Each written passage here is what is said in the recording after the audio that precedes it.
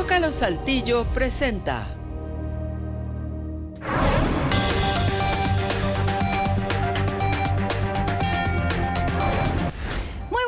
Noches, son las 9 con un minuto, 20 grados Celsius. Le mandamos un fuerte abrazo donde quiera que usted se ubique y estas son las noticias más importantes que usted debe de conocer. Fíjese que un fuerte incendio reportado en un tejabán a las orillas de la carretera Monterrey-Saltillo provocó el descubrimiento de una toma de clandestina de diésel y además de venta.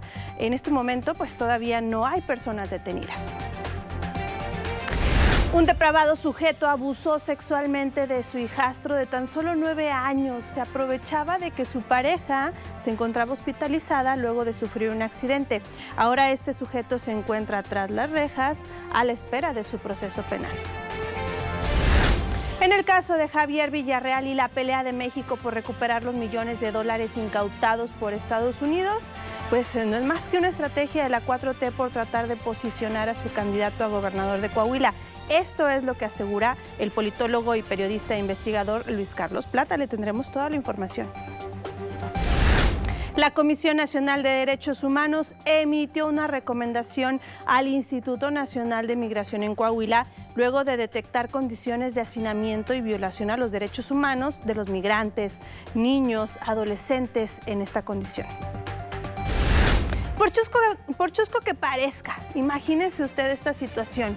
El consejero presidente del Instituto Electoral de Coahuila, Rodrigo Paredes, impugnó ante el Tribunal Electoral Estatal a los miembros de su propio Consejo General.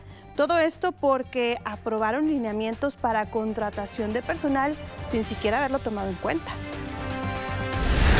Y el gobernador Samuel García declaró el fin de la emergencia sanitaria por COVID-19 en Nuevo León.